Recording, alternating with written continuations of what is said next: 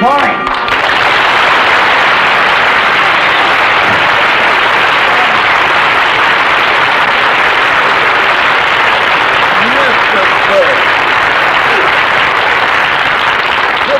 Sit down, Mr. Burns. Now then, what can I do for you? I stopped by to pick up my dividend statement. Ah, yes. Well, my secretary has your file. She'll be right back. Fine. Uh, do you do you smoke cigars, Mr. Mooney? Yes, yes, I do, yes. May I have one? Uh,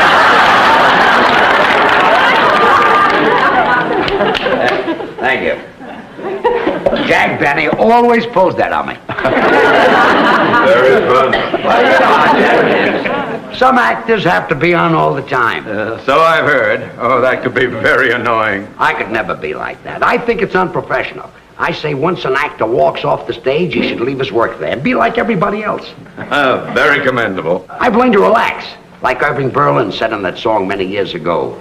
Lazy, I want to be lazy. I want to just lay in the sun with no work to be done. Yes, I remember that. Ooh, under that awning they call the sky. It was a very Stretching and yawning, you let the world go drifting by. Yes, well, I want to peep in the deep tangled wildwood, counting sheep while I sleep, like a child would, with a great big valise full of books to read while it's peaceful, while I'm killing time, being lazy now, Mr. Mooney.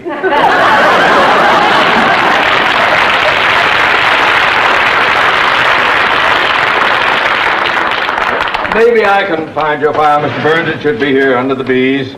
All right, Martin, Miller, Munson, Murphy. under the B's? Maybe we'd better wait for my secretary. I uh, hope you don't mind waiting. Think nothing of it. Now that I'm not doing an act anymore, all I've got is time on my hands, you and the nothing but love in view. And if I fall, once and for all, I'll see my dreams come true.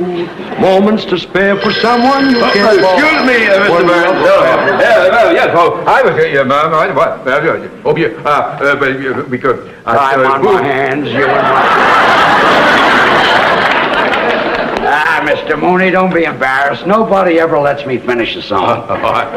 Oh, would you care for another cigar? Oh, no, no, go right on with your work. I'll just sit here and look at the stock report. Oh, yes. My, I envy you, Mr. Burns. How's that? Well, being able to retire in the prime of your life, just sit back and to collect dividends. Well, that, that might be true about some people, but not about me. Huh? It kills me not to be doing an act. Well, why did you stop working? Well, I've always liked to work with women. I had a great act going with Carol Channing, and then she left me. She went into Hello Dolly, and then I did an act with Dorothy Provine, and then and she went into television, and Connie Stevens went into pictures. Well, why don't you find some other girl to work with you? Mr. Mooney, comedians are not that easy to find. Gotta find a girl with a kind of a pixie personality, eccentric, way out, a real kook. A girl like that is very, very hard to find. Here's the contract. Well, it's about time you got here. I've been trying to find Mr. Burns' file. Oh, oh, George Burns. How do you do? Oh, you've been a favorite of mine for years. Oh, thank you. Oh, oh, I used to watch you all the time on radio. You me on radio? I mean, I, I, I used to listen to you on television. Listen to me on television. Yeah, that was the year my picture tube went out. You should have gone back to watching me on radio. Ah! Oh, you say the funniest thing. Mrs. Carmichael! I've been trying to find Mr. Burns' file. It is not under the B's. Oh, I must have put it under the X's. Why would you put the B file under the X's? Well, that poor little file never has anything in it.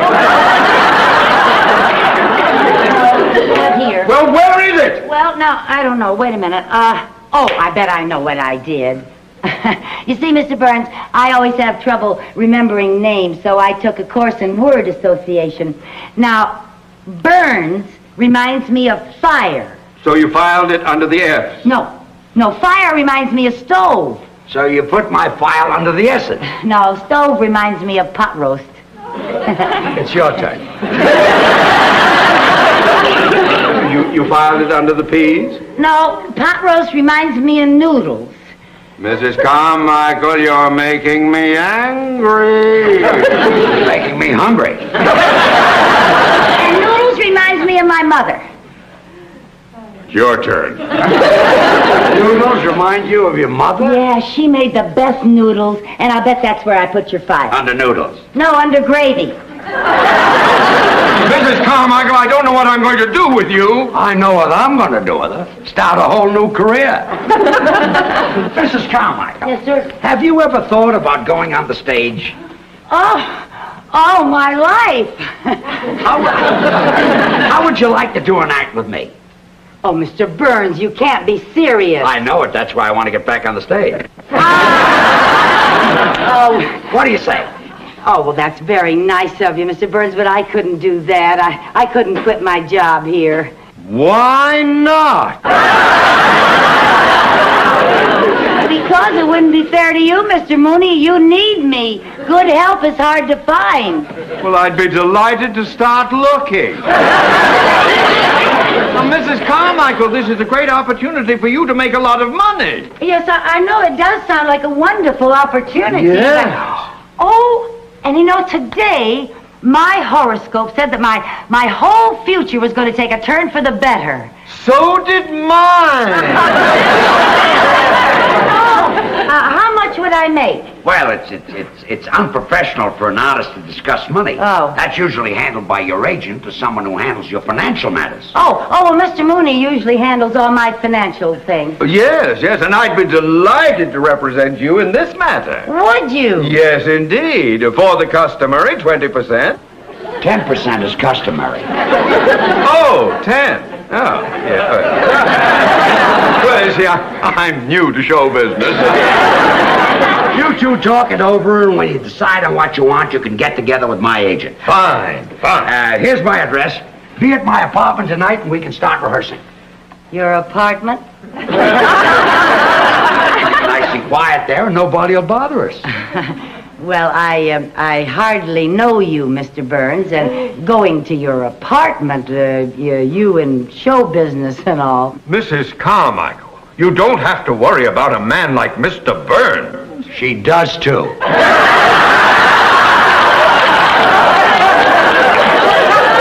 I didn't mean that you aren't a gentleman, Mr. Burns. I just meant that.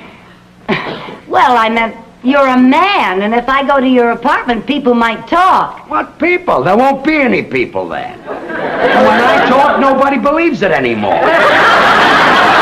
Here tonight. Okay, Bye, Mr. Burns. Carmichael. Well, thank you. Goodbye, Mr. Mooney.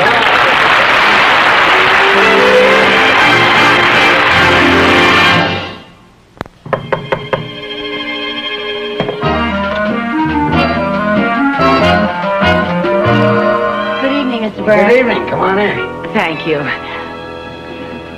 Oh, what a lovely apartment. Well, I'm glad you like it. Oh, it's so beautiful. Are you ready to try a little rehearsal? Oh, yes, I can hardly wait to find out what I do on the stage. First, you've got to learn how to get on the stage. oh, yes, sir. See, making, making an entrance is very important. Oh. Now, let's see. Where are we? That'll be the wings right there. Oh, uh-huh. Now, uh, this will be center stage. Yes, sir. Yeah. Is that the audience out there? That's, that's the audience. Okay. Now, we're introduced over the house mic. Oh, are we? Ladies and gentlemen, here they are, George Burns and Lucy Carmichael. now, the orchestra plays our entrance music. Oh, what, what is our entrance music? Some of these days. Oh, Now, let's make our entrance. Let's Oh, go into from over here. Now, you walk out just like I do. yes, sir. Okay. Yes, sir. Now, here they are, ladies and gentlemen, George Burns and Lucy Carmichael. Now, there's music, and I'm walking out, and I'm bowing, and I get to the center of the stage, and when I get to the center of the stage, I'm Sorry, Mr. uh, honey, you, you walked out too fast. Oh, well, I guess I've waited so long to go on stage that I, I was kind of in a hurry. You, you belong over here. Oh, over here. Over there. Oh. That's it. Now, we'll start. Yes. Well, Lucy, say hello. Hello. Not to me, to the audience. Oh. Hello. Don't look down at the audience. The people in the back can't see you. Oh. Uh, hello. Now, I'll tell you a little trick. Especially when you're new and you might be self-conscious. You look out at the audience, but you don't see them. You sort of look past them. Oh. Well, now, well, Lucy, say hello.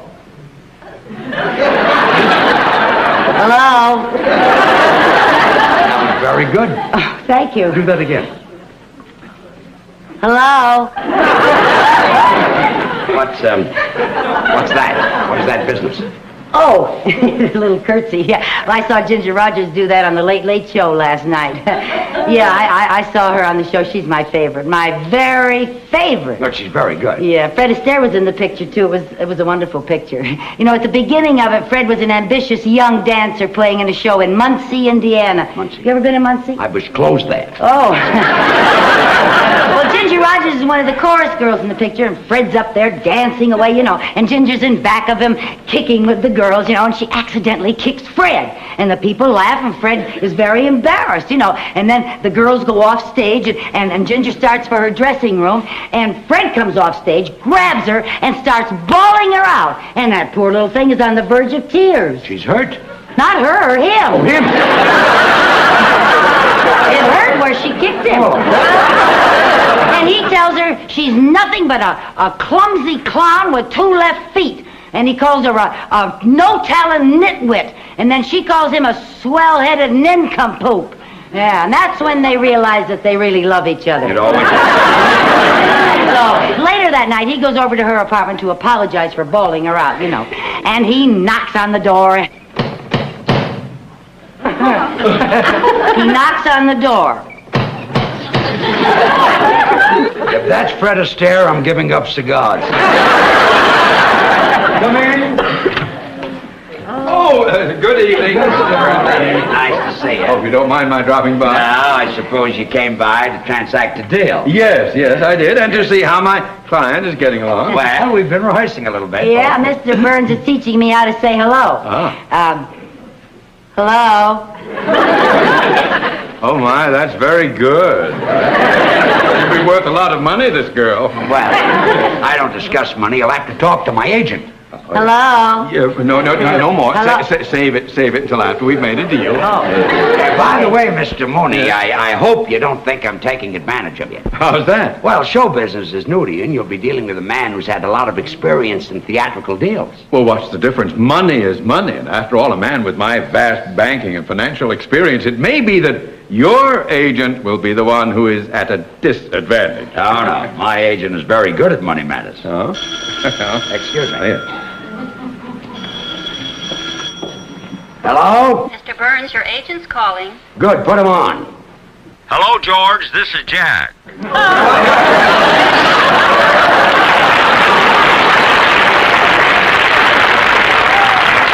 Just in time. Mrs. Carmichael's agent is here right now. Fine. Let me talk to him. Uh, good. Here he is. His name is Mooney. Mr. Mooney. Hey, Mr. Mooney, my agent. Yeah. What's his name? Benny. Jack Benny. Jack Benny is your agent?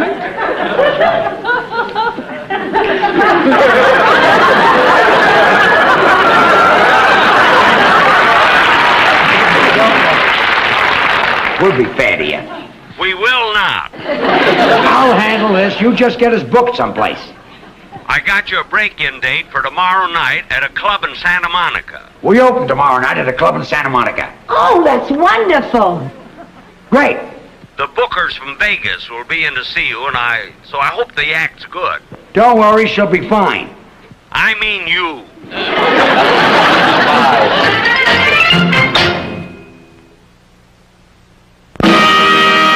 And now, ladies and gentlemen, George Burns and Lucy Carmichael.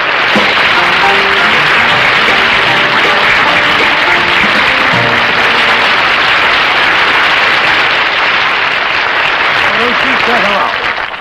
Hello. Well, now that you're on the stage, what are you going to do? Oh, well, when I was in the beauty parlor this afternoon, I heard a wonderful joke. Would you like to hear it? It had everybody dying laughing. We'd all like to hear. it. Oh, well, this one man looked up and said to the other man, Don't ask me, I just got here myself.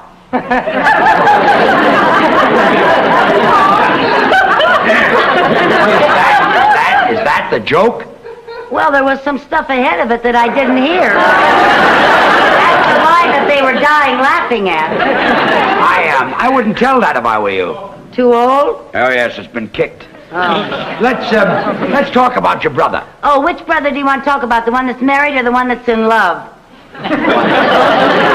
The tall one. Oh, oh, yeah, yeah. Well, that's my brother Harry.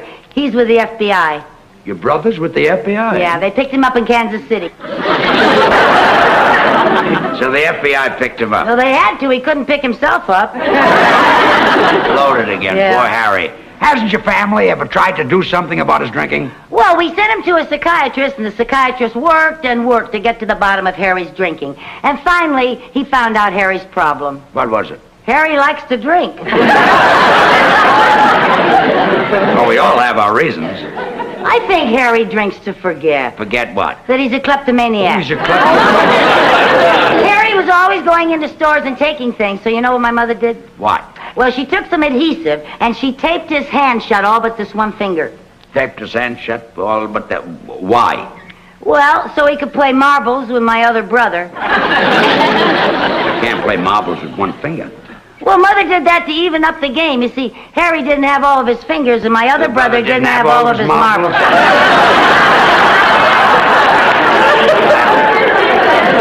That made the game even. Yes, it did. But when your mother taped up Harry's hand so that he only had one finger, did this hmm. stop his shoplifting? Well, it helped. All he could steal were donuts. Harry liked those. That's right. It was a donut that broke Harry's back. Donut broke his back Yeah, you see, he had a donut in his right hand pocket, and he tried to get it out with his left hand. and broke his back. Yeah. well, the next time he's got a donut in his right hand pocket, tell him to try to take it out with his right hand.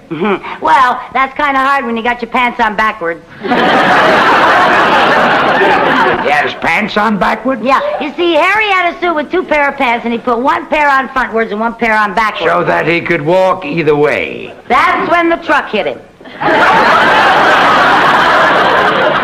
What truck? The truck that didn't have its lights on. Well, why didn't the man in the truck have his lights on? Well, he didn't have to. It was daytime. Well, if it was daytime, didn't the man in the truck see your brother coming? He didn't know it was my brother. Oh, he saw two pair of pants coming toward him, and, he, drove, right, between them. That's our music cue. And Marcy- Two sweethearts in a country town, the neighbors say, lived happily the whole day long. Until one day told he must go away, she wondered then what could go wrong. He said, you know it's true, I love you best of all, and yet it's best that we should part. Just as he went away, he heard his sweetheart say, Here's a pretty tempo, Lucy, play with it. Although broke her heart, Some of these days, yes, some of these days, you'll miss me, honey. you're gonna miss me, honey. Some of these days, Yes, one of these days, you'll feel so lonely. you'll be feeling oh so You'll lonely. my You hugging. used to love it when I'd hug and You'll squeeze you. miss my kissing. You'd ask for more, and I You'll tease you. me only You want me only when you go away. when you're a million You'll feel so lonely. In the evening when the sun goes Just down, for me only. I'll be on the other side of For town. you know, Oh, you know, baby, had your way. that you went and had your And when you leave me, I know 'twill grieve You me. can bet you're gonna be full of sorrow. Miss Your blue-eyed baby, some of these days. Dee-dee, dee-da, dee-dee, dee-dee, dee-da, dee-dee, dee-dum, dee-dee, dee-dee, dee-da, dee-dee, dee-da, dee-doo, dee-dee, dee-ba, ba, do, dee, dee, ba, do, dee, dee, ba, ba, dee, dee,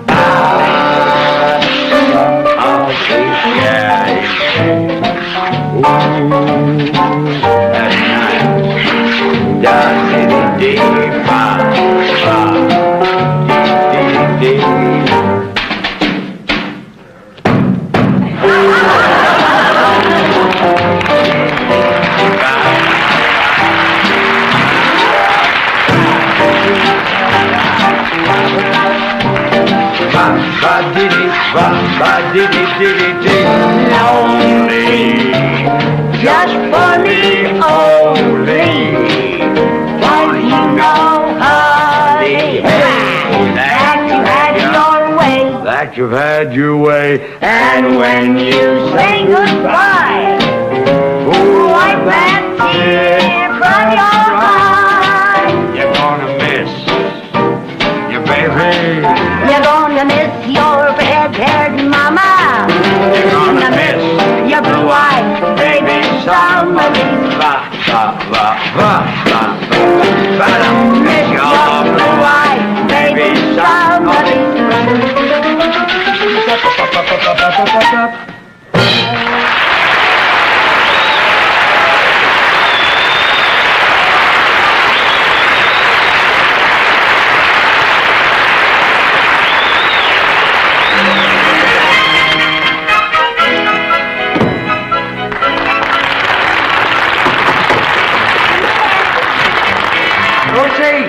you were just great. Thank you. Everybody out front is talking.